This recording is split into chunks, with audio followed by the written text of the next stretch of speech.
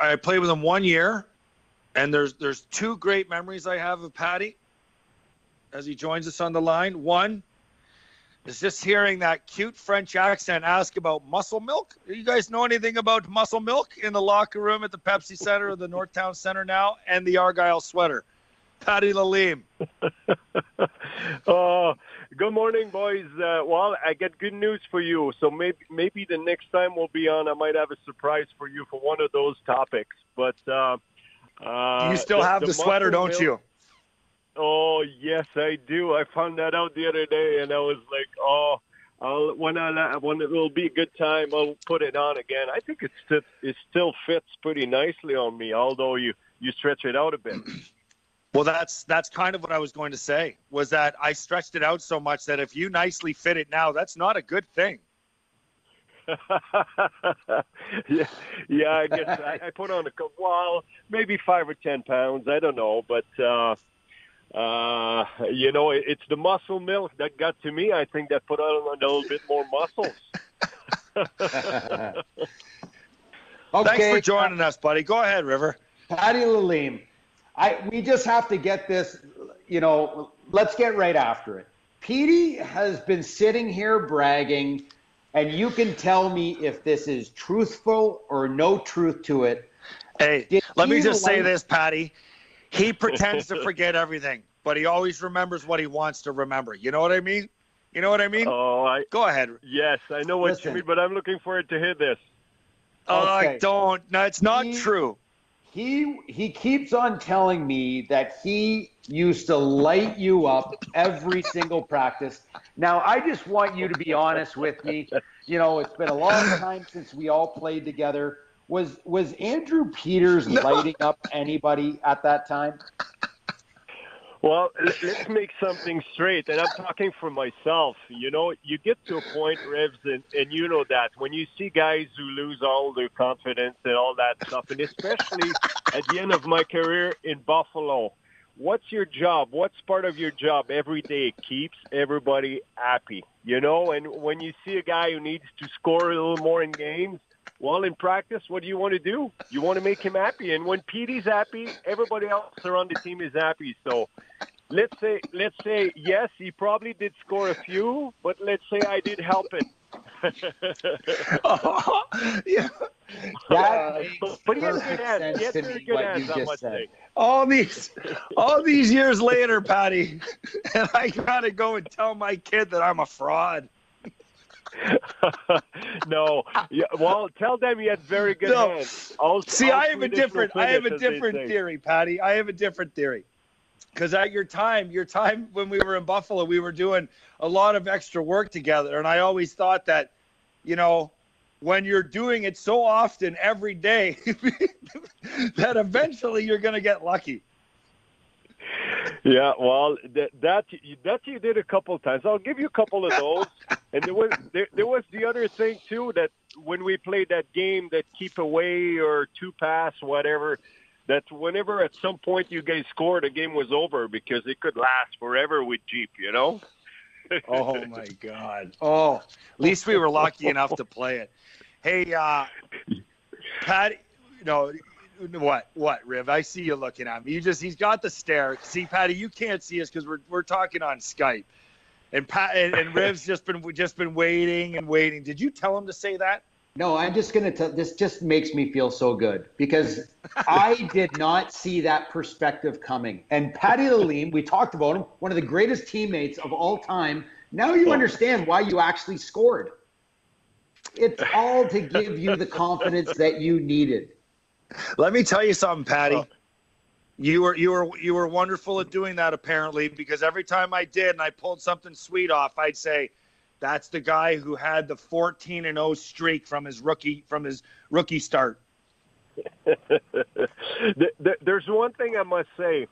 It's uh, you, you get to a point too because you love celebrating even in practice when you score because you don't score too often and at some point you you just don't want to see the celebration. So it, it was getting a, a big of a, uh, rivalry on the ice a little bit too, even in practice, because at the end of the day you get some pride and you don't want to see the guy celebrate when he scores. So we had some good battles.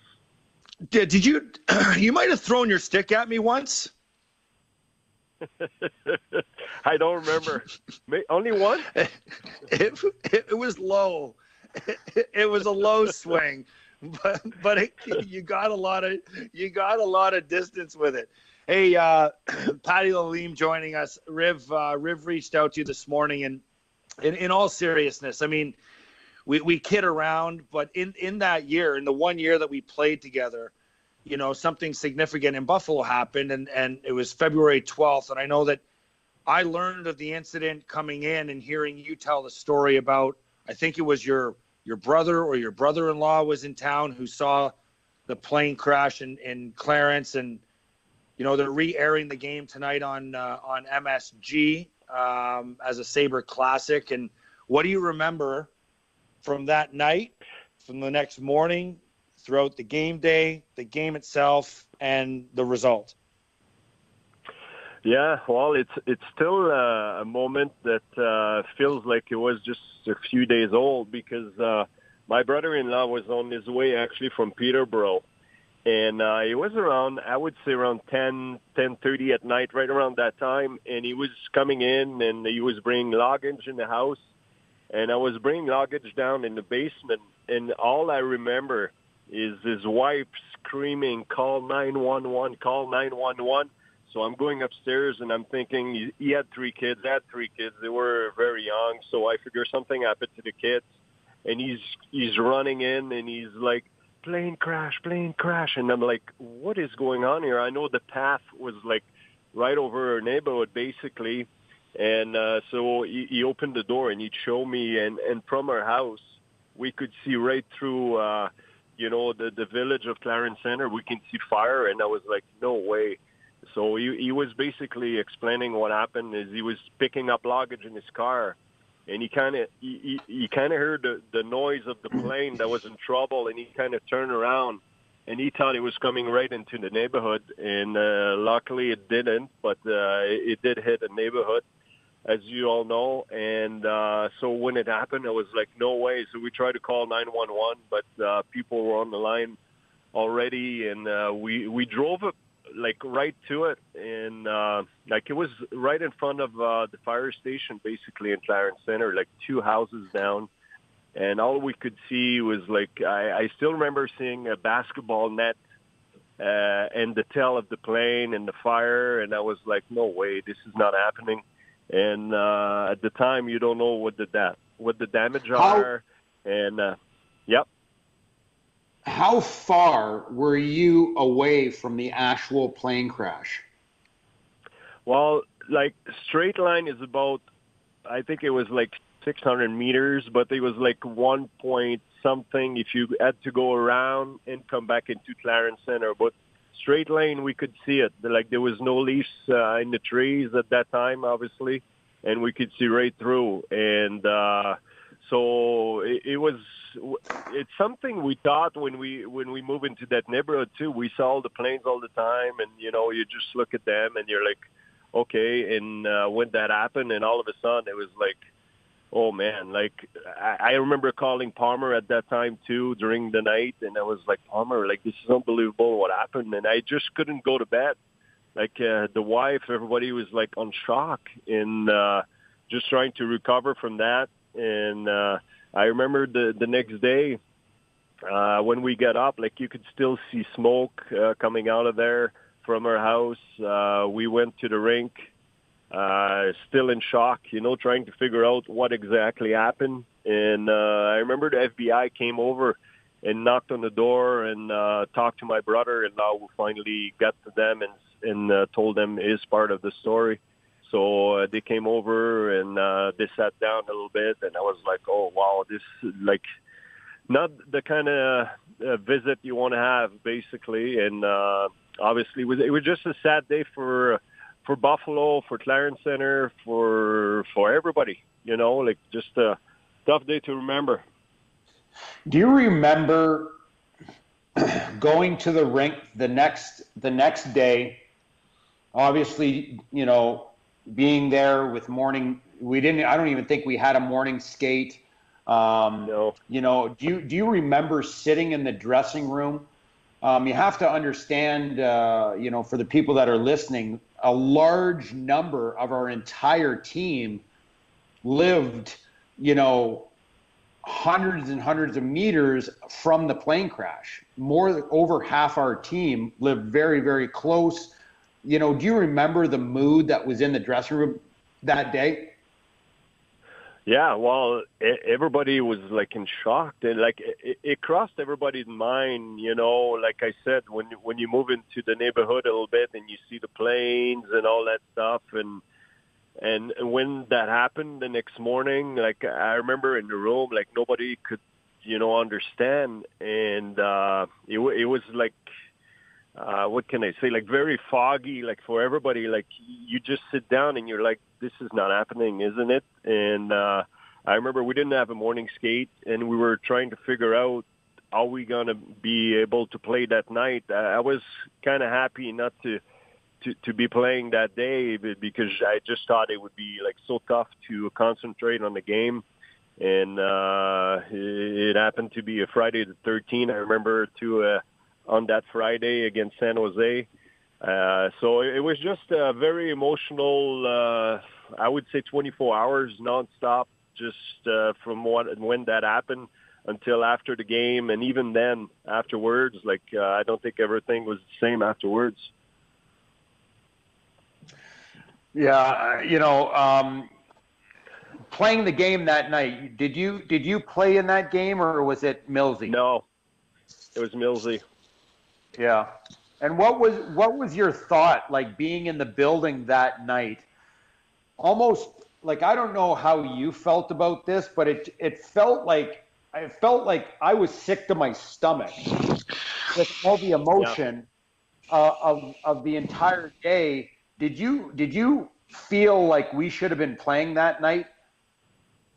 No, I, I that's what I was trying to find to figure out, you know, like it was such a big moment, uh, such a moment that uh, I felt I I was part of uh, just in a little bit of you know a way, but just just the thought of that day that how many people were touched by that uh, sad moment uh, across the city, across the country, because uh, that's a big tragedy when something like that happened and that we were living like right next to it and you realize how lucky you are you know to uh to to still enjoy the, the days. And i i thought it was just a tough moment even for me on the bench. Uh just tried to put my mind into uh, real life in uh, even more into a hockey game. I, I wasn't even sure are you guys were able to uh, to, to play that night uh, with all the emotions that we're going through. Everybody felt because it's a small community, you know, Clarence Center, Clarence, Buffalo. Uh, overall, it's, it's a small community, and everybody is very close to each other. And when something like that happened, even though we were from uh, all over the world, like a lot of people live in Clarence Center, and a lot of people were just still, if you say a, a, place where I played hockey and I really enjoyed, and we almost stay there afterwards, was uh, exactly that neighborhood where we live because uh, a lot of guys were living there, and the fr- the people there were so awesome. So it was a close knit uh, community that uh, you know got touched by a big tragedy. Patty Lalime uh, joining us here, and and Patty, thanks again, eh, for the for the short notice and. Uh, uh, availability. We appreciate that. But I, I, I want to keep asking you about this tonight. Obviously, for those maybe just tuning in on MSG, the Sabres Classic game will be from February 13th, 2009, the night after Flight 3407 crashed in Clarence. And, uh, you know, Patty Lalime joining us. He was obviously on the team, um, lived in Clarence. Um, so, you know, a, a very uh, uh, unique tie-in. Um, what was what was the? I mean, I can ask Riv, but I, I don't know that we've asked you, and it's always good to hear from other. Can you remember any one guy? Uh, you know, name names or don't. It doesn't matter. I mean, but or number of guys like and and what their moods were like. I mean, you know, getting ready for the game. Was it a? Obviously, I think we've established it was a different feeling and things like that. But but Lindy, like for for instance, I mean, did he say anything before? Like I wasn't dressed that night, so when he comes in, does he he he Lindy Lindy was very emotional. He lived out in Clarence for a very long time. Um, I remember we didn't see him much in the morning. He came in and addressed the team, as you guys mentioned. But what was he like, you know, throughout the course of the game? Was his demeanor different on the bench? Uh, the players? I mean, what was what was all that like? Because you know, you not playing, you had a you had an interesting standpoint, taking it all in and watching it all. Yeah, well, I, I think, and, and you're right about that, Lindy, too. That uh, was a big part of uh, the community. Uh, everybody was was not the same. I I didn't think. Well, you, try to make the best of it with with what you had, and you, you try to play for a reason. I think at that point, when you figure out the game was going on, uh, you try to put your mind into it. But I I didn't think it was. Uh, it, it was the same feeling as uh, any other game. You know, uh, I, I think everybody was uh, was in a different mood, and and I still try to. I remember that the game was a high scoring game, but I I still try to think about all that, and it seems to me like it was a 24 hour where nothing made sense really. You know, like the perspective of. Uh, uh, of life that you had before seeing something like that and the perspective, especially at that moment, uh, what you had to deal with uh, mentally. I think everybody was touched. And I remember Palmer when I called him that night and I said that, and like Palmer was like, "No way!" Like, like everybody was in shock. Everybody was trying to get back to his sense and trying to push that aside for a moment and try to play hockey. But uh, I, I still think it was a big part of the game, although, you know, uh, it, was, it just had a big influence on the whole evening and the whole day. Yeah. Yeah. Amazing stuff, Patty. Amazing stuff. Um, how's that, everything going? That being said, just to add, I, I do believe that that game that we played and how hard our team played for the fans, for uh, all of Buffalo, to basically win that game the way that we did against the best team in the National Hockey League at the time. I mean, the emotional roller coaster in that game was was something special, and I and I believe that the people walking away were able to put a smile on their face for for just a couple minutes, you know, and um, that's the reason why we played that game. That's the reason why we played that game to kind of, you know, give these people an opportunity to um, take their mind away uh, away from something so tragic. So that's my that's one thing that I'm most pleased with with was how that our team reacted how we all came together and, and we won that game for, for Buffalo. Well said. Uh, that that that's a very good point. Seriously, everybody rallied together for a reason, for a good reason, and uh, yeah, I, I didn't remember that the Sharks were best team in the league at that time. It just shows a lot, you know, when you you rally together for for a good cause uh, in those moments that uh, what you can accomplish and achieve. I uh, I still think Palmer should have let you have credit for that goal, Riv, for that shot from the point.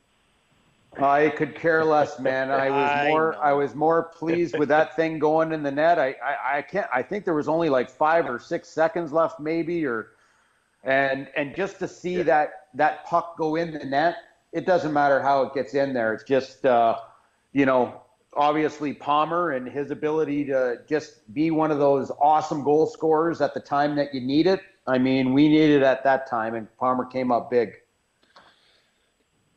Mr. Clutch, Patty, everything good in your world? Everything's all right?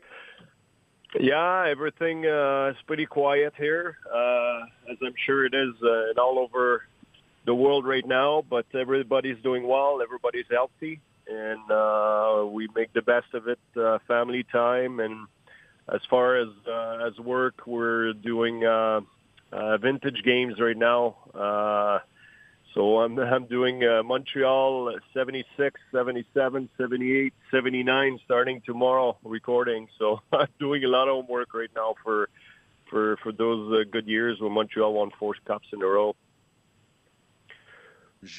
Jacques Lemaire Here we go. Was that was that uh, was that the Guy Lafleur era? Yeah, where Guy Lafleur was like top scorer like three years in a row, and Jacques, he was playing with Jacques Lemaire. Uh, the the those guys were very good, and uh, you had Ken Dryden, you had the big three on defense: Savard, uh, Lapointe, and uh, Robinson. Obviously, those were big dogs, and uh, uh, they had such a good team. Yvan Cournoyer was playing with Lemaire and Lafleur. That was a good line. Uh, you know, so many good players at that time. Hey, uh, did you guys, I, Riv, I think you played for Jacques, right? Uh, Jacques Lemaire? Yeah. Patty, No. did you play for Jacques Lemaire? No, I didn't. I wish. I wish though. When I saw I- what he did with uh, his teams defensively, the the goalies that played for, you know, they they always look pretty good. You know, in that system. Well, I watched him the other night then on a Sabre Classic game um, with the old Sabres, and I gotta tell you, I just played one year for him. And you watch the way he plays, and then you figure out how he coaches, and you just you you instantly get why all of his teams have success. I mean, the guy was he's unbelievable.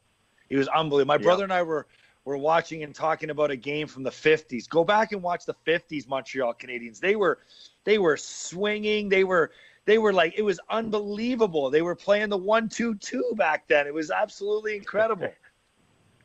crazy, crazy. Old school hockey, 50s hockey. Go watch 50s hockey, Patty, and tell me if you'd Yeah. rather watch if if you like that game better than today's game or even the 80s or 90s. It was incredible. Incredible. Yeah, it was anyway, it was it was yeah I know it was Montreal was that was their big thing eh? like with Scotty Bowman behind the bench and all that stuff the way they played the the way they, they clogged up the middle kind of push everybody aside you know protect the house uh, they uh, they they had it all though when you look at that team like defense offense they could play physical they could do it all that were, those were good days for Montreal. Well, when you watch original six games, you're watching they're all studs, right? Because there's only six teams, so it you know it's like it's really best on best. But Patty, thank you so much for your time today, man. We'd love to have you on again soon. It, it would be my pleasure. I'll, I'll, I'll be ready for a FaceTime next time. I'll be dressed for the occasion. Get the Skype going. Get the Skype going. Okay, we're going. We're taking it all the way back to uh, 2007 here with the Skype. Okay, so Yep. get the Skype. Get the Skype downloaded on the on the computer, and we'll and, and we'd love to see you in the Argyle sweater. How nicely you're filling it out. oh, sounds great. Just for you boys. I'll wear it again. Oh, you are off. the man. You are the man. Patty Lalime, Thanks, kind Patty. enough to join us. Thanks, Patty.